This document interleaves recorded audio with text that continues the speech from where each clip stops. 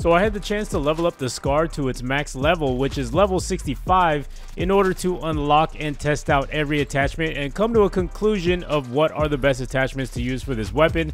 This is an incredible two-shot kill class setup, and we'll get into the details later, but here is a quick rundown of what I'm using on this gun after some testing.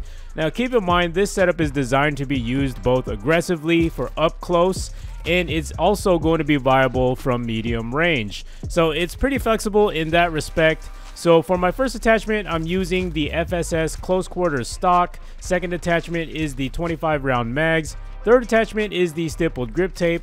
Fourth attachment is the Forged TAC CQC Pro, and the final attachment is the compensator. Now I tested out the SCAR to see how the weapon performs overall, and the SCAR has a base aim down sight speed of 356 milliseconds, but with the attachments for my preferred class setup, we do increase that aim down sight speed by 24% or 270 milliseconds, and this is very noticeable. The base SCAR is a very sluggish weapon by nature. You're going to find that aim down sight speed very slow, and it's going to be hard to compete against SMGs in this game. So increasing that aim down sight speed with my recommended attachments is crucial, especially with keeping in mind how fast you die in this game. So it's important to improve your speed. Now moving on to how many shots it takes to kill an enemy. From 5 to 30 meters, it's a 3 shot kill and from 35 to 65 meters, it's a four shot kill. Now here's where it gets interesting. If you land two shots to the head from any range, even without stopping power, it becomes a two shot kill. So when you're using the SCAR, keep that in mind to aim for the head to reduce the amount of shots it takes to kill whenever possible. The recoil on this weapon does kick like a mule from long distances, so make sure to go for headshots at practical ranges. Now, if we use the stopping power field upgrade, it becomes a two-shot kill from 5 to 30 meters, and then a three-shot kill from 35 to 65 meters. Now, I know you're wondering what about stopping power rounds to the head. Well, I tested that and and we don't see any reduction of shots it takes to kill at the head. It still remains a two-shot kill regardless. Now, going back to the recoil on this weapon, the base SCAR has a recoil pattern that's very predictable. The recoil pattern travels up at about 1 o'clock. Now, with the recommended attachments combined, more specifically with the compensator, we do keep almost the same bullet travel length. However, you'll notice the spread is not as tight, but it isn't anything to worry about. Now, just to the right of my preferred setup with the compensator is the Merc foregrip attachment. We do see that the bullet travel length is just a bit longer, pretty much on par with the base SCAR, but you will notice that the bullet spread is much more spread out in those first couple of shots, which is why I did not go with this attachment. Also, this attachment does come with the negatives of your aim walking movement speed on top of your aim down sight speed, and mainly the aim walking movement speed is why I didn't want to go with this attachment because this particular setup is designed for more aggressive play. And to the right of the Merc foregrip is just an example of the class setup without the compensator to show why you actually need it to control that vertical recoil. The last two recoil patterns are from the bipod foregrip attachment which claims to help control recoil as well as crouch prone recoil control. Now the bullet travel pattern is slightly higher than the compensator and the Merc foregrip.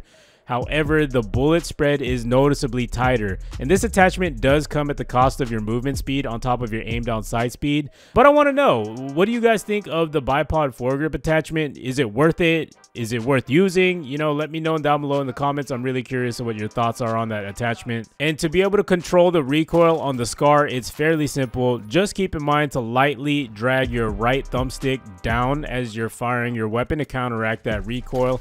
And you also won't really notice the recoil if you keep your engagements from close to medium range. So for the second half of the video, I want to recap why I chose each individual attachment as well as additional tips while using the weapon, as well as a full class setup including secondary, perks, tactical, and lethal.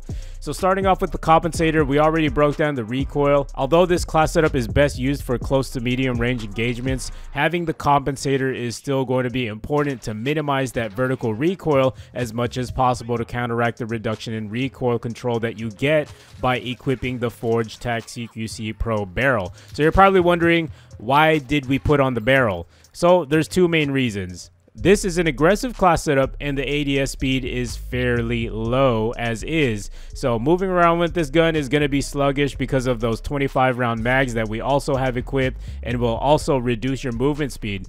And equipping this barrel does give us a faster ADS as well as it counters the movement speed reduction from the 25 round mags. And the barrel also does come at the cost of reduction in bullet velocity, but it's not really important as it's only noticeable at very long ranges, such as if you're playing ground war and trying to cross map somebody. So don't worry about that at all. Next, we have the 25 round mags. This is necessary in my opinion due to the low ammo capacity of the SCAR at 20 rounds. It's just simply not enough, so equipping this attachment does make a lot of sense. There is a 30 round mag attachment, but it feels too sluggish since it makes the weapon heavier, essentially making it harder for aggressive play. Next is the stippled grip tape. This is a crutch perk for almost any weapon that offers this attachment. There's not much to say here about it other than it allows us to fire your weapon a lot faster after coming from a sprint as well as increasing that aim down sight speed, which is essential to winning those gunfights. And lastly, we have the close quarters stock. This is the best stock attachment in my opinion as it doesn't really have any penalties other than aiming stability, which doesn't really matter. But we do get an increase in aim down sight speed, which will complete that cracked aim type of movement. So moving on to secondary, it's all personal preference. You can use whatever you want. I'm just running a handgun for my secondary. There's nothing special about it. Uh, for perks, I'm running EOD. EOD is really important it's one of those perks that you must run in Modern Warfare because of how overpowered explosives are in this game. Have you ever died to proximity mines or even C4s being tossed at you? It is just so annoying and it just really kills you off of your streak.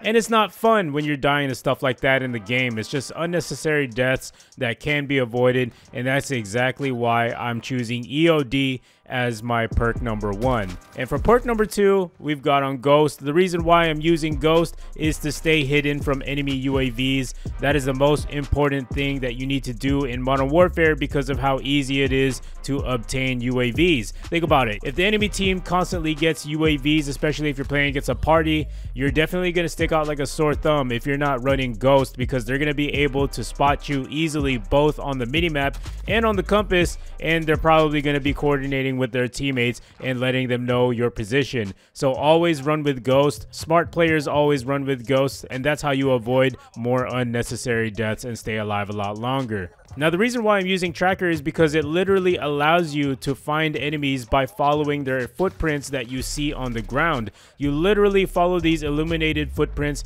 and it leads you to the enemy. It's just simple as that and this is extremely helpful in situations where you're flanking around the map or you're lone wolfing it and you're all alone and you just don't know where enemies are going to be coming from. Sometimes you might see footprints that weren't even there before and then you realize like, oh, well, this is a spot that I need to be aware of in the future because I wasn't even sure that an enemy was capable of even staying in this type of area. But thanks to Tracker, Tracker is also helping you learn new things in the game. It really makes getting kills so much more easier as well as helping you stay alive. And since I prefer using the specialist bonus perks, I'm running scavenger for two kills to re-up on ammo since we're working with a small amount of ammo. And hardline at four kills and battle hardened at five kills since we're using the hardline perk. And it will also reduce obtaining all of the perks at just seven kills. And for lethals, I'm using C4 to help me traverse around the map to toss it at enemies whom are camping in certain areas or toss it at someone during a gunfight. For example if I've run out of ammo but I don't don't have time to reload, a C4 will bail you out of a lot of situations as well as get you easy kills, especially when enemies are capturing objectives such as domination. And for tactical, I'm running with stim shot just to heal myself a lot quicker when I'm wounded to help me jump back into gunfights or get out of tight situations with confidence. This is also going to be essential since we're playing a lot more aggressive. We're more likely to come up on more enemies and get more damage taken. So that's why running stim shot is going to be quintessential to this class setup. Alright you guys, so that's about it for today's video. Definitely let me know what you think of the video down below in the comments. Did you guys like my new setup here and how I'm presenting my information? Let me know in the comments so I can keep making videos like this. I'm always looking for ways to improve. And make sure if you're new around here and you're part of the 90% that do watch my videos all the time, but have not subscribed yet, please officially join Turbo Nation. Help me reach 100K. It would really mean a lot to me. And drop a like if you did enjoy this video. And I will see you guys in the next video. Peace.